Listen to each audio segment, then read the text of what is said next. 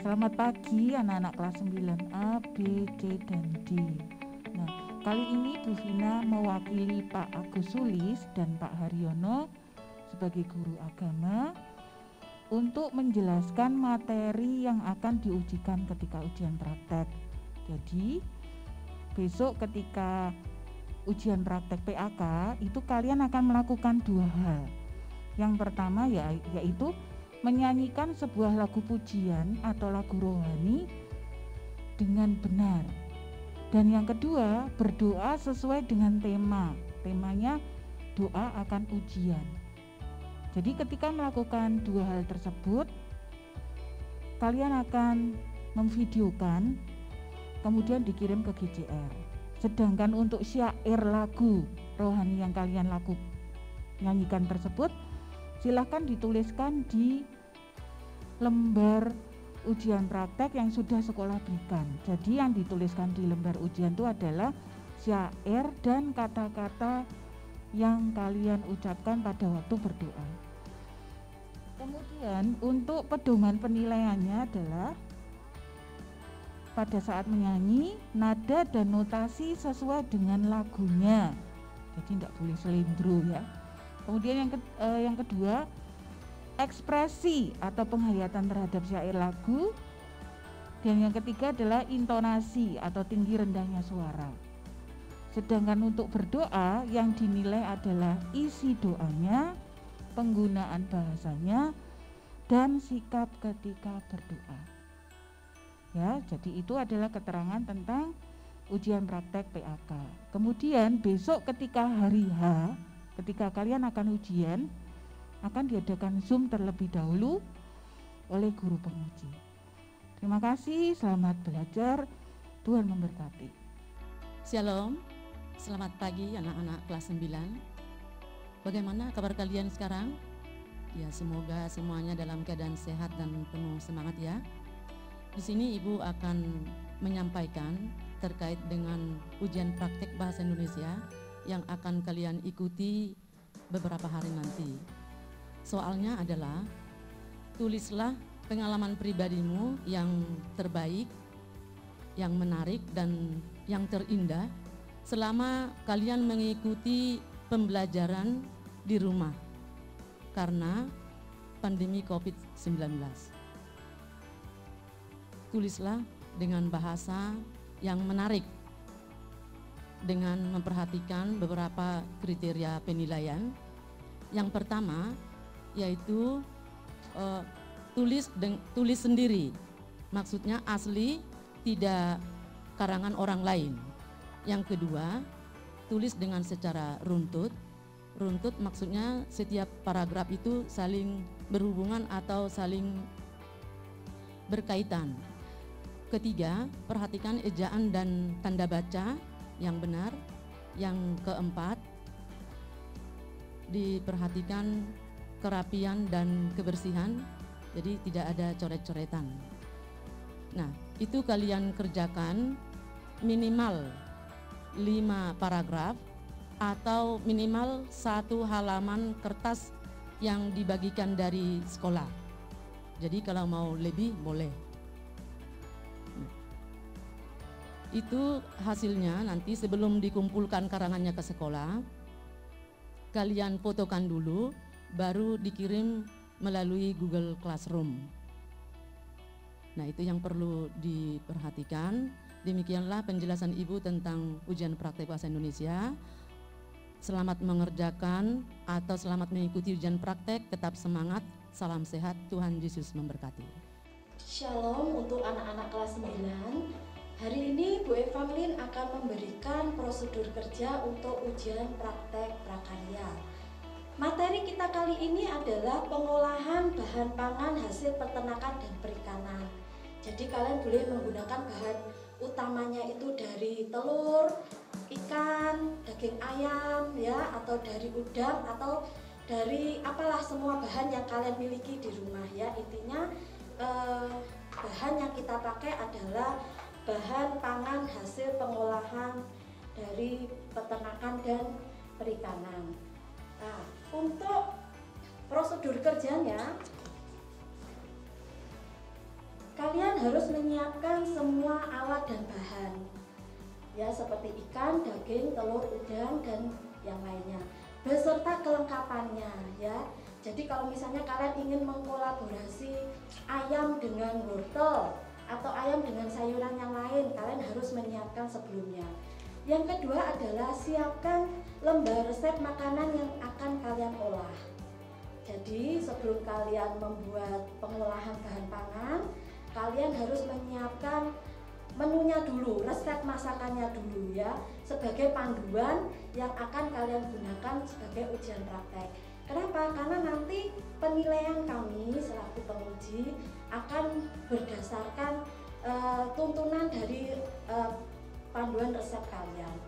Berikutnya adalah ketika bahan pangan sudah selesai kalian olah, kalian wajib menyajikannya di tempat saji atau wadah saji sebaik mungkin. Kenapa? Karena itu masuk ke dalam penilaian. Untuk penilaiannya, yang pertama yang kami nilai adalah kelengkapan alat dan bahan. Yang kedua adalah adanya lembar resep masakan ya. Berikutnya adalah proses pengolahan. Jadi proses pengolahan kalian seperti apa itu akan kami lihat dan kami nilai. Yang keempat adalah penyajian. Nah, dalam penyajian ini apa yang kita nilai? Keindahan ya, estetikanya. Ya, estetika apa? Silahkan kalian pelajari ada di buku LKS. Yang terakhir adalah kebersihan e, dari persiapan dan proses pengolahan. Jadi kami akan lihat bagaimana proses pengolahan kalian itu e, higienis atau tidak ya. Nah, untuk ujian prakarya ini berkolaborasi dengan ujian praktek bahasa Inggris. Jadi kalian harus persiapkan sebaik mungkin karena dalam satu uh, ujian ada dua penilaian yaitu penilaian ujian praktek bahasa Inggris dan juga ujian praktek prakarya. Nah, anak-anak, jika ada perubahan atau pertanyaan, maka kita akan bicarakan dalam Zoom meeting. Jadi sebelum ujian praktek nanti kita lakukan, kita akan mengadakan Zoom meeting sehingga semua wajib mengikuti Zoom meeting supaya apa? Jika ada pengumuman atau perubahan atau kalian tidak mengerti dengan prosedur kerja dan penilaiannya, kita bisa diskusikan ya. Kita bisa uh, tanya jawab di sana. Nah, demikian yang bisa Bu Eva sampaikan. Semoga bermanfaat. Tuhan memberkati. Good morning all the NIN graders. Here I'd like to inform you about the practice exam. Selamat pagi anak kelas 9 dari kelas 9A, B, C, dan D. Hari ini Pak Denny akan memberitahu tentang ujian praktek bahasa Inggris.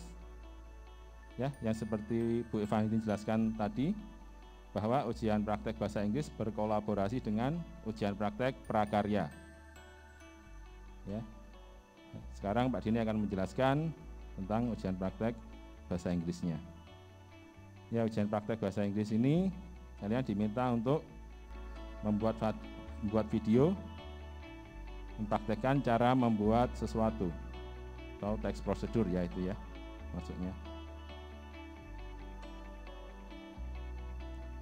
Ya, kalian membuat praktikan membuat sesuatu dengan bahan dasar susu, telur, daging ayam, daging sapi, daging ikan, dan juga daging udang ya. Silahkan dipilih. Setelah itu, kalian tulis teks prosedurnya dalam kertas. Setelah itu, kalian memvideokan teks prosedur yang kalian buat tadi. Ya, dalam memvideokan tes prosedur itu kalian harus menggunakan bahasa Inggris ya. Jadi kalian memberi perintah dalam membuat sesuatu, memberitahu dalam membuat sesuatu itu harus dengan bahasa Inggris ya. Oke, kalian cukup membuat satu video saja untuk ujian bahasa Inggris dan prakarya. Membuat videonya seperti itu tadi yang Pak dijelaskan harus dengan bahasa Inggris. Kata-katanya dengan bahasa Inggris. Ya, nanti laporannya ada dua tes prosedur dalam bahasa Inggris dan juga untuk prakarya ya dalam bahasa Indonesia ya untuk prakarya. Jadi buat videonya hanya satu saja ya. Oke, untuk aspek yang dinilai dalam ujian praktek bahasa Inggris, untuk yang tertulis atau teks prosedurnya yaitu yang pertama konten ya. Yang pertama konten dan grammar. Itu untuk teks prosedurnya ya yang tertulis. Berikutnya untuk speakingnya ini kalian buat di video itu ketika kalian berbicara ada pronunciation, fluency, intonation, and performance. Ya, fluency tentu kelancaran kalian ngomong, intonation ya naik turunnya nada kalian ketika ngomong, pronunciation pelafalan ya, pelafalan kalian dalam bahasa Inggris, dan juga performance kalian ya dalam mempraktekkan membuat sesuatu ya.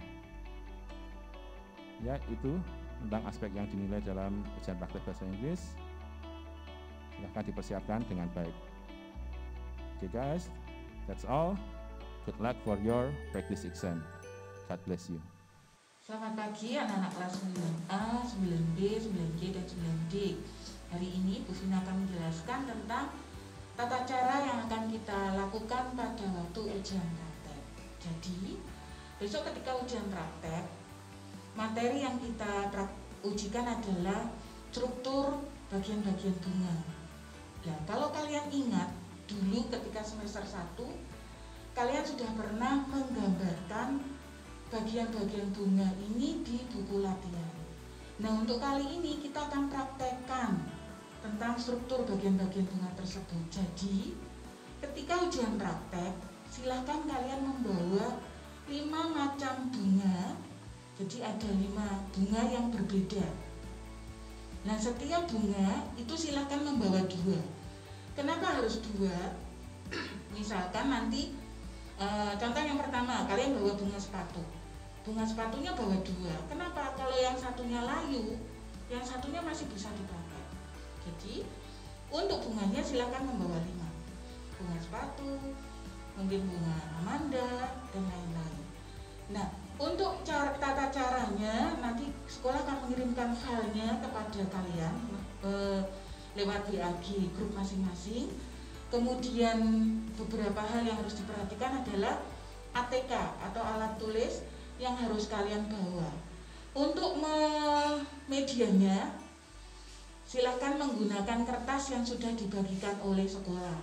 Nah selain itu karena ini menempel, kalian harus bawa isolasi sendiri dari rumah. Jadi bawa isolasi, bawa gunting, kemudian bawa pensil, bawa pulpen, dan bawa penggaris.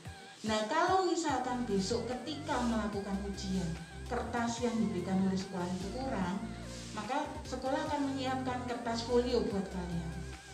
Ya, jadi untuk tekniknya tidak sama seperti mapel yang lain. Kalau mapel yang lain kan online di rumah. Kalau IPA itu kalian offline. Jadi akan datang ke sekolah untuk pembagiannya ada keterangannya di file yang akan diberikan oleh sekolah. Jadi 10-10 ke sekolah. Nanti 10 anak ke sekolah. Misalkan nomor absen 1 sampai 10. Nanti kalau sudah selesai gantian. 1 sampai 10 pulang, nomor absen 11 sampai 20 datang ke sekolah. Ya.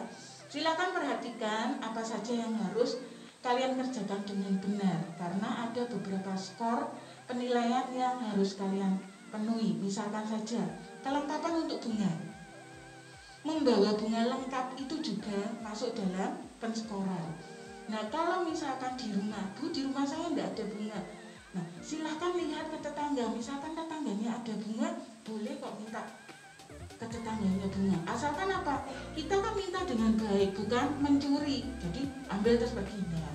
Bilang bu, saya untuk ujian praktek butuh bunga, boleh kan minta bunganya ya begitu ya jadi itu tadi keterangan untuk ujian praktek IPA untuk lebih jelasnya kalian bisa baca di file yang akan diberikan sekolah.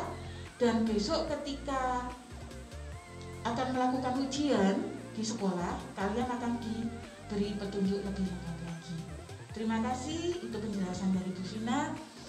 Tuhan Yesus memberkati. Jadi alat dan bahan yang kita butuhkan adalah yang pertama kertas laporan ujian praktek yang sudah diberikan oleh sekolah. Kemudian gunting, pensil dan pulpen, kemudian ada selotip, dan penggaris. Nah, semua alat ini harus bawa sendiri, tidak boleh pinjam temannya. Kemudian untuk bunganya sudah ditulis di lembar kerja bahwa setiap jenis, jadi kalian harus bawa lima jenis dan setiap jenisnya harus minimal membawa dua. Jadi contoh, seperti ini namanya bunga kertas. Ini satu jenis, setiap jenis bawa dua. Maksudnya apa? Kalau yang satu rusak, satunya masih bisa dipakai.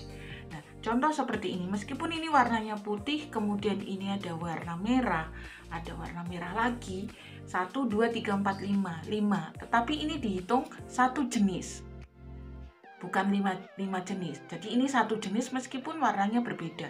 Jadi ini satu jenis, kemudian di sini ada bunga sepatu, jadi ini Bu Vina punya dua jenis.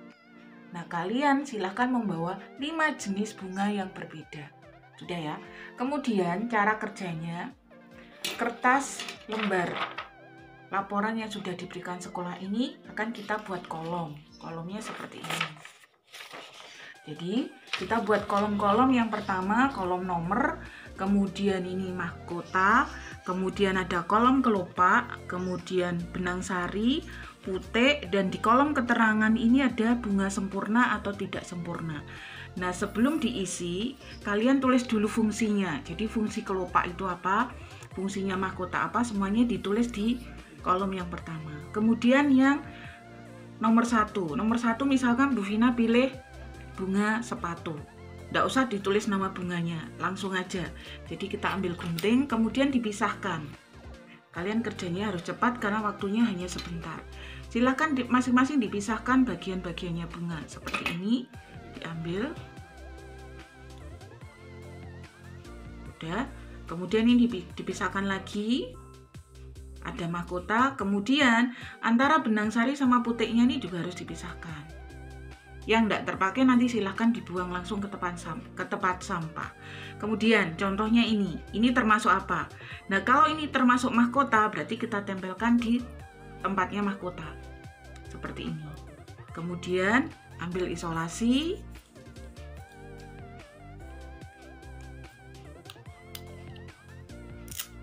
Jangan pakai lem ya, tapi pakai isolasi karena kalau pakai lem tidak bisa nempel.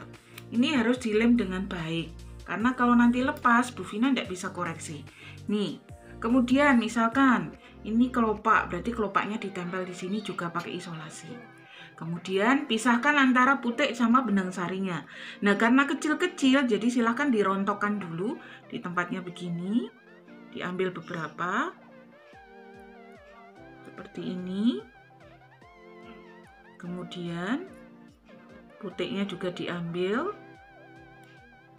putihnya saja benang sarinya tidak usah nah ditaruh di sini kemudian hal yang sama ini disolasi lagi ini disolasi begini nah kalau sudah diisi dari bagian-bagian bunga tersebut berarti kembang sepatu ini termasuk bunga sempurna atau tidak sempurna. Kalau dia bunga sempurna, berarti di sini ditulis bunga sempurna. Nah gitu ya, lakukan sampai 5. Jadi nomor 1, 2, 3, kalau tidak cukup silahkan buat lagi kolom di baliknya. Jadi gitu ya, ada 5 bunga yang harus ditempel, di 5 bagian-bagian bunga yang harus ditempel. Nah, ada banyak skor yang akan diambil dari pekerjaan kalian ini. Salah satunya adalah bunga. Bunganya ini harus bunganya ini juga dinilai. Jadi, supaya mudah, jangan pakai bunga yang terlalu kecil. Kalau bungamu kecil begini, nempelnya di sini juga susah karena terlalu kecil. Atau jangan ambil bunga yang gede, nempelnya di sini nanti kolomnya tidak cukup. Begitu ya. Jadi silahkan bersiap diri untuk ujian praktek yang akan dilakukan mulai minggu depan. Tetap semangat, mengerjakan dengan baik. Tuhan Yesus memberkati. Selamat pagi untuk anak-anak kelas 9 semuanya. Di sini saya akan menjelaskan terkait dengan ujian praktek dengan materi dari PJOK yaitu senam irama di mana nanti bahwa semua kalian nanti melakukan ujian praktek senam irama materinya ada dua yaitu adalah senam Maumere dan senam Poco-Poco. Silahkan untuk kalian nanti memilih salah satu di antara dua materi yang sudah kami sediakan. Dan pada waktu kalian melakukan praktek, kalian yang pertama harus kalian menggunakan seragam olahraga lengkap. Di mana eh, seragam olahraga ini adalah seragam yang dari sekolah, bukan seragam yang kalian siapkan di luar seragam sekolah. Dan yang kedua, kalian harus melakukan senam ini dengan penuh semangat dan sungguh-sungguh. Yang ketiga, di dalam gerakan senam yang kalian pilih, apakah itu senam poco-poco atau itu senam maumere itu dilakukan dengan tidak terputus-putus. Jadi gerakan itu harus berurutan sesuai dengan irama yang ada. Untuk penilaiannya ada tiga. Yang pertama adalah kerapian, yang mana kerapian itu terdiri dari seragam kalian kalau seragam kalian itu nanti bagus, maka nilainya juga bagus. Jadi seragam olahraga lengkap, seragam sekolah bersepatu. Yang kedua, gerakan. Gerakan harus menunjukkan semangat. Jadi tidak boleh kalian melakukan gerakan dengan seenaknya sendiri. Jadi harus semangat. Yang ketiga, yaitu adalah gerakan senam itu harus sesuai dengan kebenarannya. Karena kalau senam mau mere, gerakannya sudah ada seperti itu, jadi tidak boleh berubah-ubah dan tidak boleh terputus-putus. Itu untuk penjelasan yang kami sampaikan ke kalian yang nantinya harus kalian lakukan di dalam ujian praktek PJOK. Demikian Terima kasih. Selamat pagi anak-anak kelas 9. Untuk ujian praktek seni budaya, yang harus kalian lakukan adalah menyanyikan satu buah saja lagu populer Nusantara. Bebas, judulnya bebas, asalkan lagu pop ya, populer Nusantara. Di mana nanti materinya akan di-share di wali kelas masing-masing. Kalian bisa lihat di filenya. Untuk kriteria penilaian yang harus kalian pelajari atau kalian latih adalah intonasi. Intonasi itu adalah tidak fals kasarannya harus sesuai nada dasar. Makanya perlu dilatih ya. Intonasi itu kejelasan nadanya. Yang kedua lafal harus jelas. Jadi kalau orang bernyanyi lafalnya itu harus jelas. Yang ketiga adalah ekspresi. Ekspresi adalah pendukung pendukung dari lagu tersebut yang kalian nyanyikan. Demikian oh, informasi untuk ujian seni budaya ujian praktek ya. Silahkan berlatih silahkan mempersiapkan sampai bertemu ujian praktek nanti. Kemudian kalian setelah uh, di video ya di video setelah itu dikirimkan di Google Classroom. Hanya satu lagu saja. Terima kasih untuk perhatiannya. Sugeng bocah-bocah, selamat pagi.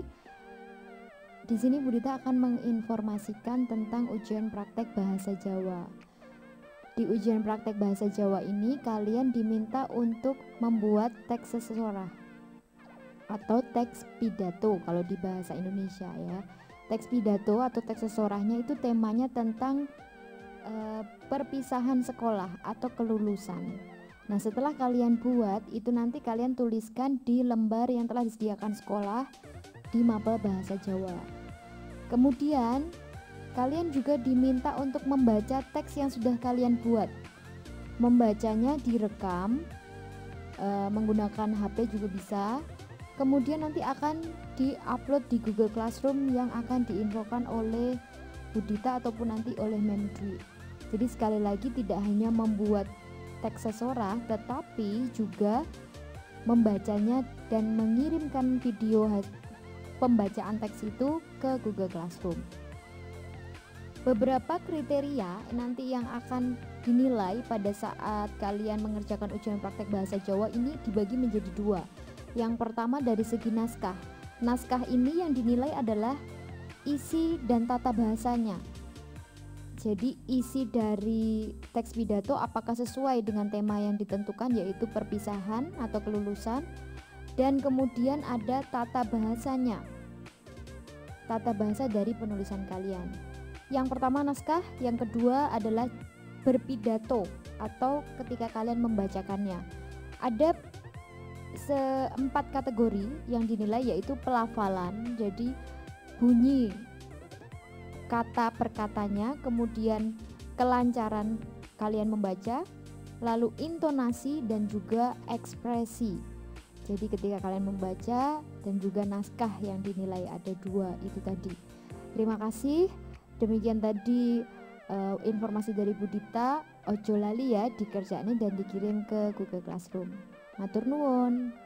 Selamat pagi anak-anak semua kelas 9A, B, C, dan D. Pagi ini Pak Jamjari menyampaikan penugasan untuk ujian PPKN. Nah, tugas ini harus dikerjakan dengan baik ya karena ini juga termasuk bagian dari penilaian kelulusan. Saya bacakan saja, dengarkan dengan baik. Carilah sebuah berita atau artikel tentang peristiwa yang terjadi dalam masyarakat menyangkut keberagaman suku, agama, ras, dan antar golongan. Kemudian perintahnya atau soalnya ada dua. Satu, peristiwa konflik berlatar belakang suku, agama, ras, dan antar golongan atau syarat.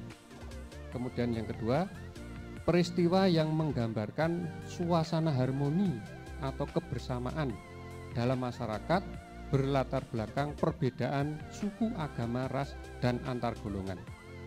Dari dua soal tadi, anak-anak cukup mencari satu berita saja.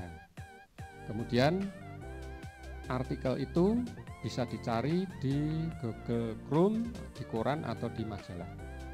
Nah, tugasnya adalah tuliskan kembali secara garis besar peristiwa yang terjadi dalam berita itu. Singkat saja, tidak usah panjang-panjang. Yang ketiga, berikan analisa tentang peristiwa yang terjadi tadi ya, menyangkut latar belakang peristiwanya, mengapa sampai terjadi. Kemudian yang ketiga, berikan komentarmu atau pendapatmu menurut kalian untuk menanggapi peristiwa yang terjadi tadi. Kalau konflik, mengapa kok bisa terjadi? Kalau kehidupan harmoni, mengapa mereka juga bisa hidup secara rukun satu dengan yang lain meskipun beragam. Kemudian berikan saran atau berikan apa namanya pendapat sehingga dalam kehidupan bangsa Indonesia yang beraneka ragam ini ya, baik suku, agama, ras dan antar golongan sehingga tetap berlangsung, tetap tegak, rukun satu dengan yang lain. Kemudian untuk hasilnya saat, eh, paling panjang itu satu halaman folio, ya. jadi tidak boleh lebih. Kemudian kertasnya difoto dan dikirimkan lewat Google Classroom sehingga Pak Jam bisa langsung koreksi atau langsung ya apa membaca hasil dari pekerjaan kalian. Kemudian menyangkut kriteria penilaiannya. Yang pertama adalah ketepatan berita sesuai dengan soal atau tema. Ya, jadi ketepatan berita sesuai dengan soal atau tema. Yang kedua, hasil analisa atau komentar atau pendapat kalian sesuai dengan soal yang kalian pilih. Dan yang ketiga, kebersihan dan ketepatan waktu pengumpulan. Nah, ini adalah kriteria penilaian. Dan nanti kalau dikumpulkan semuanya jumlahnya akan dapat nilai 100. Demikian, selamat mengikuti ujian dan Tuhan memberkati. Selamat pagi untuk anak-anak kelas 9A, B, C, dan D. Di sini Bu Ngesti akan menjelaskan mengenai cara atau teknik tentang ujian penugasan matematika. Jadi, untuk tugasnya nanti kalian akan mengerjakan soal yaitu tentang menentukan luas permukaan tabung di mana untuk ketentuan tingginya itu disesuaikan dengan nomor absen kalian dan e, untuk jari-jarinya sudah akan diketahui pada soal. Kalian kerjakan di lembaran kertas yang sudah kalian dapatkan dari sekolah dikerjakan secara runtut dimulai dari diketahui, ditanya, dijawab, dan ditutup dengan kesimpulan. Nah, proses pengerjaan kalian di kertas nanti itu kalian videokan. Jadi videonya nanti itu difokuskan pada lembar kertas, kemudian kalian jelaskan dengan suara yang jelas dan e, penjelasan langkah-langkahnya itu dijelaskan juga secara runtut. Kemudian videonya nanti itu kalian kirimkan di Google Classroom Matematika sesuai dengan e, jadwal pada ujian penugasan tersebut. Dan untuk hasil dari laporan pengerjaan ini kalian kumpulkan sesuai dengan jadwal yang akan ditentukan nantinya. Adapun e, kriteria penilaian pada ujian penugasan matematika. Yang pertama, ketepatan dalam menjawab. Jadi prosesnya saya lihat dan hasil akhirnya pun juga saya nilai. Yang kedua, kerapian penulisan pada lembar kertas atau lembar so eh, lembar jawaban kalian. Kemudian yang ketiga, keruntutan dalam menjelaskan dalam video. Kemudian yang keempat, kejelasan suara dan yang kelima adalah ketepatan waktu dalam mengumpulkan video. Nah, untuk informasi lebih jelasnya nanti akan Ibu sampaikan ketika Zoom pada hari ujian penugasan matematika. Inf, e, sekian informasi mengenai ujian penugasan matematika. Selamat belajar, selamat mengerjakan, dan tetap semangat. Selamat pagi anak-anak kelas 9. Untuk penugasan IPS dalam rangkaian ujian praktek kalian mendapatkan tugas yang pertama, kalian menuliskan teks proklamasi. Itu sudah ada pada lampiran. Yang pertama adalah teks proklamasi ejaan lama dan yang kedua adalah teks proklamasi tulisan lama. Nah, contohnya sudah ada pada lampiran, nanti bisa diperhatikan. Kalian menuliskannya pada lembar kertas yang sudah dibagikan oleh pihak sekolah. Kemudian yang kedua, kalian membaca teks proklamasi tersebut. Kemudian di video. Ya, jadi membaca tanpa menggunakan teks alias menghafal teks proklamasi. Ya, kemudian kalian videokan dan keduanya itu akan dikirim lewat GCR IPS. Nah, mengenai kriteria penilaiannya adalah yang pertama adalah tentang kesesuaian penulisan teks. Ya, jadi karena kalian hanya menulis ulang, ya segala bentuk teks yang ada di situ kalian jiplak gitu ya, menyalin ulang. Tanda coret, tanda baca dan sebagainya itu harus plek persis seperti contoh teks proklamasinya.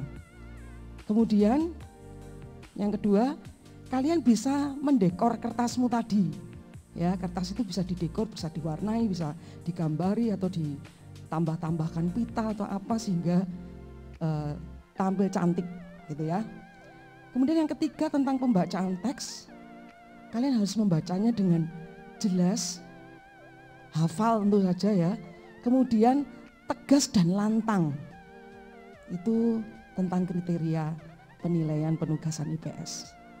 Terima kasih itu saja yang bisa saya sampaikan. Tuhan Yesus memberkati.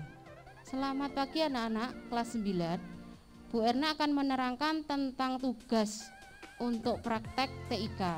Jadi eh, silahkan nanti mencari satu contoh e, pemrograman, temanya adalah pembuatan kalkulator sederhana.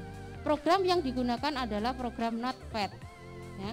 Kemudian yang kedua, tuliskan kodeng programnya lengkap di kertas yang sudah disediakan. Jika kalian nanti untuk hasilnya dicetak juga bisa, digambar juga bisa. Kalau kalian memilih dicetak, silahkan nanti ditempelkan di kertas yang sudah disediakan oleh sekolah. Ya, nanti sekolah akan mengirimkan file. Di situ kalian bisa melihat contohnya program dan contoh hasilnya. Kemudian nanti silahkan kalau kalian sudah menemukan tulis di kertas dan ditempel, fotokan ke GCR. Dan untuk pengumpulan tugas yang berupa kertas nanti menunggu info dari sekolah. Kemudian untuk hasilnya apa saja poin-poinnya yang uh, akan dinilai? Itu yang pertama adalah penulisan kodeng program, kemudian hasil kodengnya dan waktu pengerjaannya. Demikian informasi untuk ujian praktek TIK. Tetap semangat untuk mengerjakan.